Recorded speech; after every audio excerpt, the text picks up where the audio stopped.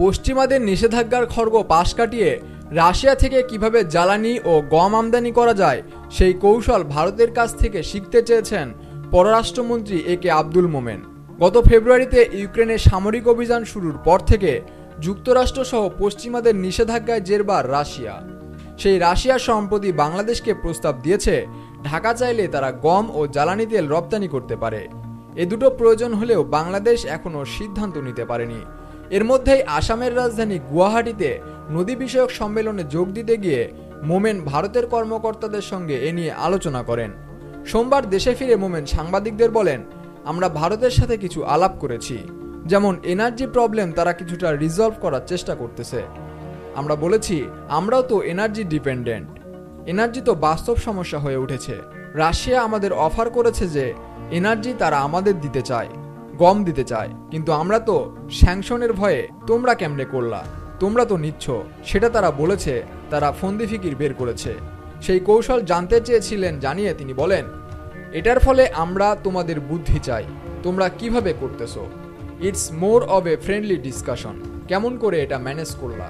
পশ্চিমাদের রোষে পড়ার ঝুঁকি নিয়ে বাংলাদেশের পক্ষে রাশিয়া বাণিজ্যের পথ খোলা যে কঠিন, তাও স্বীকার করে নিলেন কূটনীতিকের দায়িত্ব নিয়ে দীর্ঘদিন যুক্তরাষ্ট্রে কাটিয়ে আসা মোমেন। তিনি বলেন, ভারত বড় দেশ, ম্যানেজ করতে পারে। তারা করলে তাদের উপর কেউ স্যাংশন দেয় না। আমরা গরিব দেশ, ছোটখাটো দেশ। আমাদের উপর মাতব্বরই একটু বেশি।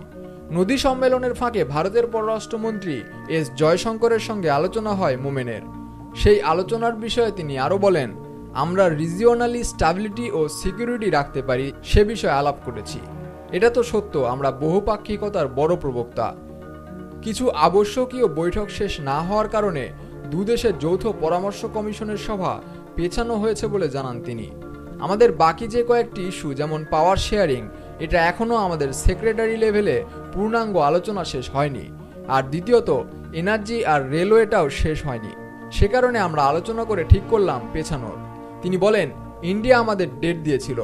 এগুলো না হলে আমরা গিয়ে কি করব? এই মিটিংটা হলো ওগুলোর উপরই আলোচনা। আমরা দেখতে চাই এই কাজগুলো শেষ হোক। প্রথমে দুই সপ্তাহ পরে সভাটি করার আলোচনা হলেও পরে তা আরও কয়েকদিন পেছানো হয়েছে জানিয়ে মোমেন বলেন, তারপরে দেখলাম দুই সপ্তাহ পরে হয় না, ওদের অন্য মিটিং আছে। তারপর ওনারা বললেন, আঠারো উনিশ তারিখে আসেন।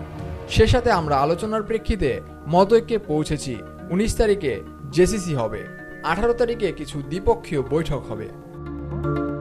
পুণ্ড নিউজ, ডেস্ক রিপোর্ট।